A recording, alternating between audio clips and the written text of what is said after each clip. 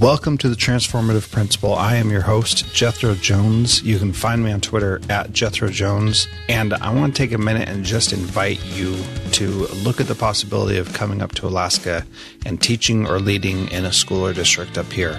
If you want to connect with me and figure out how you can make the transition up here, I'd be happy to talk to you. Right now, my superintendent position is open, so somebody who wants to make a change and make a real impact to the people of Kodiak come on up and check that out. And there's always other opportunities. So please take a minute and connect with me and let's figure out how to get some great educators up here in Alaska.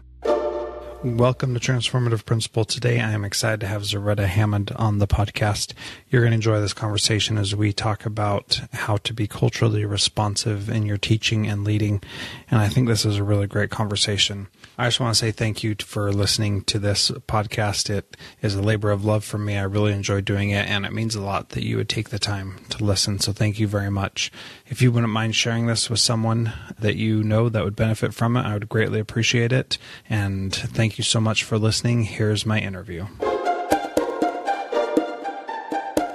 Welcome to Transformative Principal. I am so excited to have Zaretta Hammond with us today. She is the author of Culturally Responsive Teaching and the Brain, promoting authentic engagement and rigor among culturally and linguistically diverse students. And you can follow her on Twitter at Ready for Rigor or check out her awesome website, readyforrigor.com. And both of those use the number four as the four and Ready for rigor. So, Zaretta, thank you so much for being part of the podcast today. I'm happy to talk to you. Oh, I'm really excited to be here. Thanks for having me. You're welcome. We're going to talk about one of the things that I just find fascinating is that is being culturally responsive in our schools and it's something that is I think much easier said than done and something that I know I stumble over many times. And as we are talking today, I will likely say something inappropriate or wrong or rude or something and not intend to. So if I do, Zaretta, I'll ask for your forgiveness and for our listeners' forgiveness as well. And maybe that can be a good opportunity for us to model how to deal with that when somebody does say something inappropriate or insensitive, especially when I don't intend to. So hopefully you can have some patience with me as as we do that. I think it's going to be great modeling because I think that is, you know, par for the course. You have, you know, the beginning stages of learning something new and I call it the first pancake stage, right? Yeah. You know, the first pancake, nobody wants it. It's all kind of messed up, but you are excited because once you get past that, the good stuff is coming. So that's what we're doing today is a little modeling. Yeah, absolutely. And I make pancakes every Saturday, so I know what the first pancakes looks like. So that, that's a very apt description. Thank you.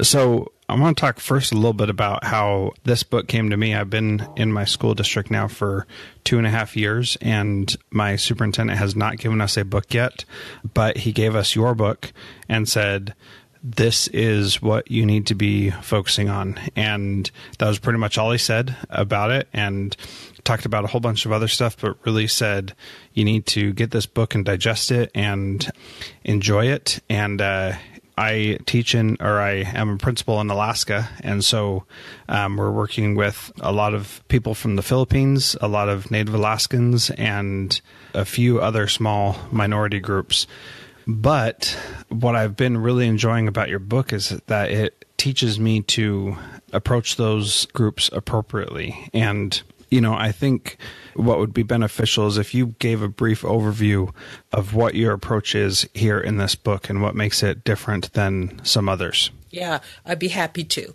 Uh, and I think it's kind of, it's, a big subject, culturally responsive teaching. And I think you said it right. It's easier said than done, and everybody wants to do it. And I want to start with talking about what it isn't as a way to, to get into the. That's a good place to start. And I think too often we think of it as kind of a gimmick, right? Something just to get kids uh, motivated or build their self esteem. So it's kind of a one off activity in a classroom. The other thing uh, we often do is see it as a classroom management, that if we just got those kids to pay attention more, um, then things would go smoothly. What we don't often do is focus on the learning part.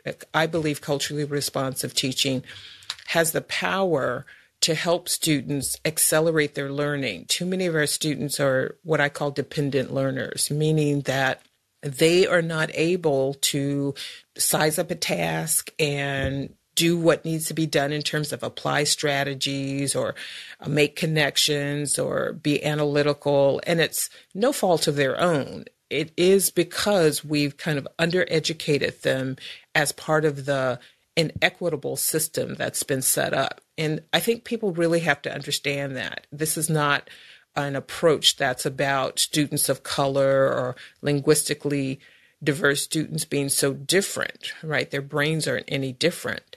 But in our system of education in America, we created a two tiered system, and we're trying to undo that. That's what equity is about.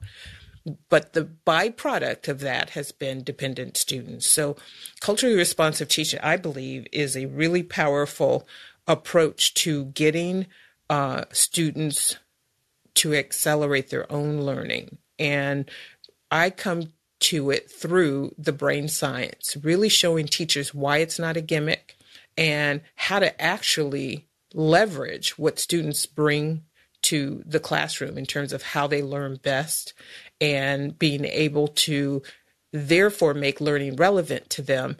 And once learning is relevant to them, the content is relevant, the ways in which they process information are familiar, then students are engaged. They kind of lean into the work and get excited. And once that excitement happens, kind of learning just snowballs. So you don't have to cajole students once that happens. Here's the other thing I'll say to kind of clarify what culturally responsive teaching is and isn't. Too often, teachers get and leaders get culturally responsive teaching confused with multicultural education. So, multicultural education is important and it really is about harmony and creating relationships across difference and getting students to work together cooperatively. So, we hear a lot of that. Uh, we also hear when we think of this multicultural approach to culturally responsive teaching, you know, if we just get the literature and the books that have protagonists that come from the culture or the racial background of the student, then students will get excited and students will, you know, be motivated learners. And what we know is culturally responsive teaching is different from multiculturalism and multicultural education in the sense that culturally responsive teaching really focuses on the cognitive development of individual students. And how do you leverage their neural pathways to actually complement learning? And multicultural education doesn't do that. So I think that's a really important piece for leaders as they are introducing this work to their faculty to really understand what that difference is and help their leaders understand what it is and what it isn't. Yeah, I I really like how you set that up and how you really focused on the power that is in focusing on how the brain builds connections. And that's something that I don't totally understand, but something that I'm starting to understand a little bit more. So, Melissa Nettle, who's a feed your mind underscore read on Twitter, asked where we should get started because it's one of the issues is how do we figure out the right place to start and maybe we're in a multicultural education where we're reading books that have protagonists that are like our students but you know maybe that's a good place to start maybe that's not a good place to start. Where would you suggest we start as we become culturally responsive teachers? Yeah i think you can start in two places. You know, having uh, diverse literature is a good thing always, but it is not necessarily the starting place. I think for leaders really thinking about creating the conditions. So the first step in creating the conditions doesn't have anything to do with what teachers are doing in the classroom. So leaders need to have a kind of a phased approach, maybe two or three phases. So I'd say phase one for introducing this work is for the leader to begin to create the conditions for teachers to talk about and think about their diverse students in a different way. So rather than trying to get students just to assimilate, how do you understand some of their cultural ways of being and knowing and how do you leverage that? So for the leader it's really kind of building his or her own understanding first and creating a set of what i call counter narratives. Because one of the first things that we have to do in bringing culturally responsive teaching to the classroom or to any school is to acknowledge the dominant narratives that work against students of color or linguistically diverse students or poor students. And sometimes students can have all three of those elements in terms of kind of their identities and who they are and the backgrounds they come from, which makes it even more challenging. So, first step is leader, before you're even introducing this work to your faculty, be able to lead from the front at staff meetings, right? Create a set of counter narratives that acknowledge that students are more than capable. Because one of the things that undermines culturally responsive teaching is a lack of trust between student and teacher or parent and teacher or parent and school. So the first order of business is to increase the trust, right? Our brains really thrive in, on being in community. And in order to learn at a high level, in order for teachers and leaders to push students to new levels, they first have to have the trust of the student.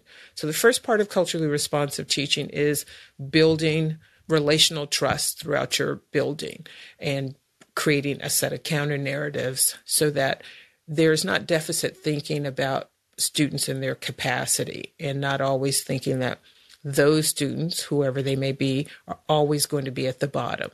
That we have to see the potential in those students. So, leader has to do that. That might take a semester. And you're not asking yeah. teachers to do anything different, right? But you are, as a leader, actively working to seed this new condition where people are coming to the staff meeting and you're talking about issues of equity or you are from the front of the room saying these counter narratives as new ways of being. All our students are capable. These are the assets that they bring right? If we are talking about Native students, these are the uh, strengths that they bring. How do we make sure that we are building on. This is the wisdom of the community. How do we make sure that our values are aligned with that, that wisdom? What are the uh, negative things that people are saying about these students? And, and how do we have a, a counter narrative, a counter statement that allows teachers to kind of move out of a deficit thinking mode? So I think that's phase one. Yeah, could you give a uh, a more specific example of of some of that deficit thinking and what the counter narrative would actually look like? And for example, for clarity's sake, one of the things that I hear a lot is that all kids can succeed, and we say that, but then we say, well, that kid can't really do well on this because of X, Y, or Z. Can you talk about what that looks like when you actually do the counter narrative from the front of the room and to a group of teachers. Yeah, and I think again, what's really important is that it's not something that a leader is preaching at teachers, right? It's we hear these statements about students. So yes, all students can learn. We say that and we say let's have high expectation for students. But then when let's say, you know, Filipino boys are always at the bottom of the achievement data, then mm-hmm. have a tendency to make excuses for why that's true. Or they don't apply themselves. Those families don't care about education. And there are a lot of ways that we, they're not actually intellectually capable of doing that. They can't do that kind of thinking, or they're not motivated, right? That's back to the they don't care. So we hear these things swirling around the school, right? In the the teacher's lounge or, you know, in meetings. The leader, rather than trying to address individual comments in the moment starts a school year off or starts a meeting with here are the three things we believe about our Filipino boys that they are more than capable, that they have leadership qualities. And despite what society says about them, we know that they are more than capable. And here are the ways that we want to help them build their capacity. And that's a lead in to maybe reading articles or a lead in to student led activities. And that's an ethos then that they will keep coming back around to. And it's a way in which to kind of shift people's thinking. So it's an explicit statement, but it's not said in response to someone else saying something negative. It's actually a proactive statement that people come back around to. Yeah, something that is in anticipation of what somebody might say. And I really like that example because when you get that specific and say, these are the three things we believe about our male Filipino students, then that that changes what people are allowed to get away with saying, right? And I love that. I think that's a that's a great strategy, especially being able to say that proactively before anybody has a chance to say anything that school year because the reality is they've probably said it for years, right? Yeah. And here's the thing I would add is it's not just a matter of in anticipation of people saying things, but it's looking out into the larger society and seeing how that particular group is marginalized. So that the principal doesn't actually have to think about just what's being said in the teacher's lounge, but actually can say, if I look at what's being said in the media about those particular students. If I look at kind of what's the historical pattern of marginalization for those students, then, or for that particular group, then I know what those counter narratives can be. Because teachers, in many ways, are just mirroring what the larger society is saying about them. They're not making them up. That, I don't think that teachers have any malice in deficit thinking, right? They're not actively trying to think negatively. They're influenced a lot by the media. They're influenced by the ways that we have bred inequity into our school system. So the leader understands this and rather than be reactive, is actually proactive with the counter narratives and building relational trust. So I'd say a leader who wants to start being culturally responsive in his or her school starts with those two things. With at meetings, building the relational trust among the adults in the building and creating a set of counter narratives that everyone then starts to adopt and to say, right, with no prompting. And you're reading to kind of build people's understanding of why that's true. You're, you're tapping into the wisdom of the local community to actually see where there are strengths and assets that are being utilized and uh, develops that usually are out of the view of teachers, right? Being in the community and connected with the community. So that's that first phase of the work before you're even thinking about instruction. I cut her off right there so that she could finish talking about the first phase. I wanted you to just think about what that looks like in your school and how you can start doing culturally responsive teaching at your school. Next week, she's going to talk about the second phase, which is building the capacity of teachers. And I hope that you take some time to think about what you can start doing now so that next week you're ready to add more and do better. I really appreciate this conversation with her. She really made me think and helped me figure out some things that, that I've been bouncing around in my head. So, ready for rigor.com again is her website, and we'll pick up with part two next week. Transformative Principles is a proud member of the Education Podcast Network. Podcasts for educators by educators. Visit edupodcastnetwork.com for more great podcasts.